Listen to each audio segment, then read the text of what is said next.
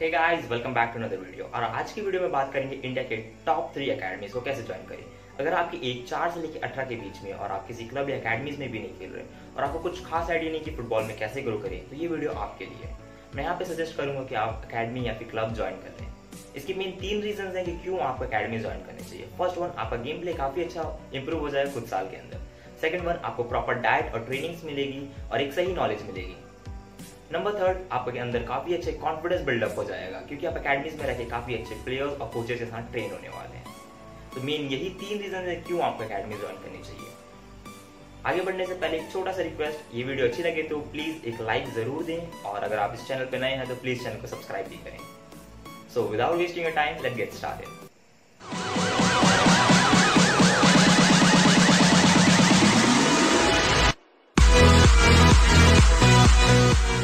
अगर ये वीडियो कोई पेरेंट देख रहे अपने बच्चों के लिए तो उनके मन में सवाल ये ज़रूर आ रहा होगा कि बच्चों की एजुकेशन का क्या? मैं उनको बता देना चाहता हूँ अकेडमीज फुटबॉल कोचिंग के साथ साथ स्कूलिंग फैसिलिटीज़ भी प्रोवाइड करते हैं। न केवल फिजिकली बट मेंटली भी प्रिपेयर किया जाता है। ताकि कोई प्लेयर फुटबॉल के अलावा किसी और फ़ील्ड में कुछ करना चाहे तो वो उसके लिए केपेबल रहे इसलिए ओवरऑल डेवलपमेंट फोकस किया जाता है। अब मेन सवाल ये आता है कि हम किसी भी क्लब या अकेडमी को कैसे ज्वाइन करें? इसके मेन तीन तरीके हैं। First one direct fee pay करके। हर अकेडमी की कैटेगरी वाइज कुछ ना कुछ फ़ीस होती है। उस फ़ी को पे करके आप डायरेक्ट एडमिशन ले सकते हैं।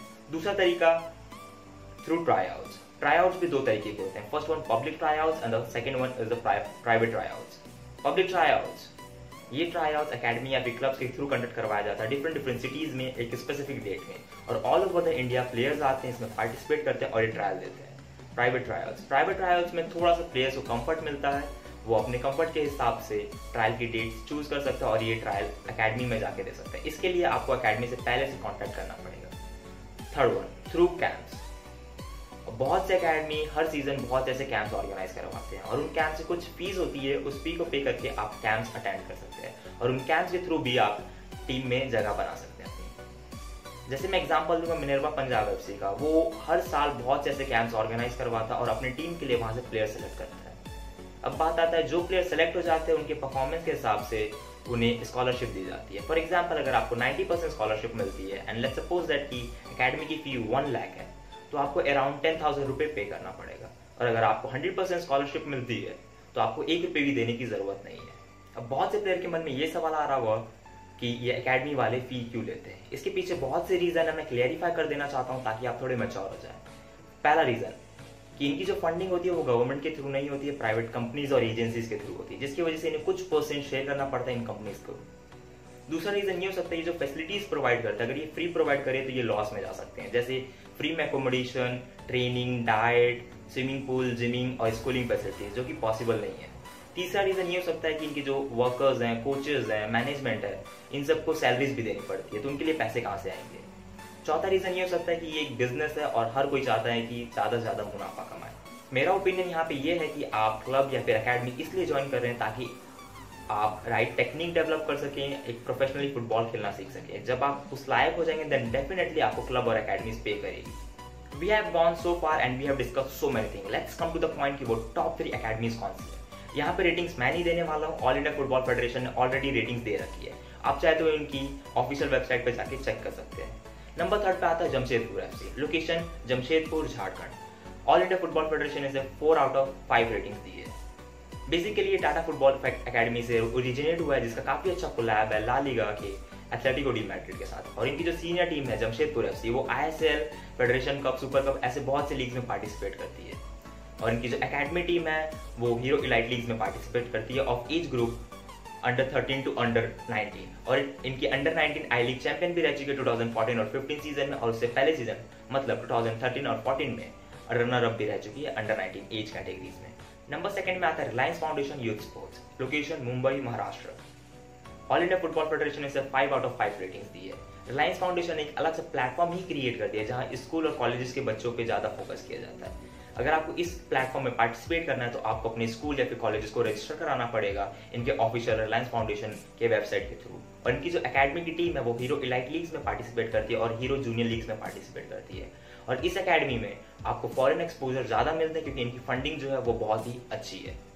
नंबर वन पे आता है no doubt Bengaluru FC location Bengaluru Karnataka all India football federation इसे four out of five ratings दिया है, लेकिन मुझे पता है, ये five out of five deserve करती है। क्योंकि वर्ल्ड क्लास फैसिलिटीज़ प्रोवाइड करती है प्लेयर्स को। दैट इज़ वाई कि मैंने इसे नंबर वन पे रखा है। इनकी जो सीनियर टीम है, वो बहुत से लीग में ना केवल पार्टिसिपेट करती है, बल्कि चैंपियन भी रह चुके हैं। Like I S L I league federation cup super cup यहाँ तक कि ये ए के रनर अप भी रह चुके हैं। और इनकी जो अकेडमी टीम है, वो भी किसी से कम नहीं है। वो भी बहुत से लीग में चैंपियन रह चुकी है। और इनकी जो अकेडमी टीम है, वो हीरो इलाइट लीग में पार्टिसिपेट करती है।